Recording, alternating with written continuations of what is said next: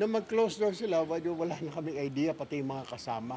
Ang ah, alam ko lang ah, na pinag-usapan nila yung ah, in general, yung mga bills na pending sa Senate. I, I believe uh, Senator Cheese uh, said uh, they will try to fast track that para makahabol like Congress. Eh, Ano po yung comment niyo po sa pag-launch ng Super Coalition against divorce? Sir, harap lang daw po. sir. Ah, okay. Yung ah, actually I'm not very privy to that na, na merong ganon ah, yung ah, coalition against ah, divorce pero like I said nasa ko nasa Senate na yung ah, bola ngayon so sila ay magdidesisyon doon sa taas. Sir, is divorce against the Constitution po for you?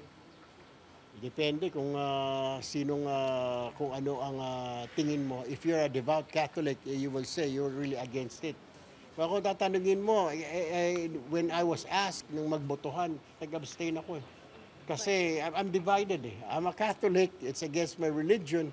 Pero at the same time, ah, because of public service, marami nagre-reklamo sa amin na ah, mga asawa na ginugulpi, sinasaktan. Eh, ano pang purpose? Bakit ka pa tatagalo sa lalaking yun? Nakatali ka, no? sinasaktan ka lang naman. Pero at the same time, I'm a Catholic. So, uh, nag-abstain na lang ako. I did not vote for for yes.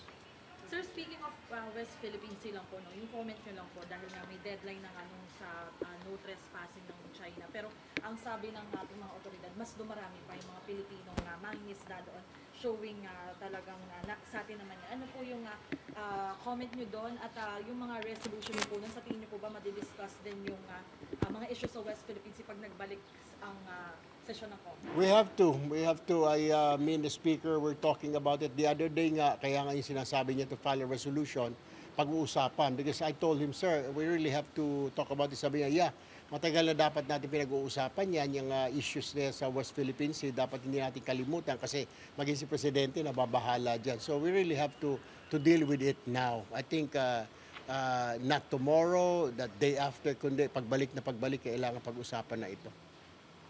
All right, thank you. Salamat po.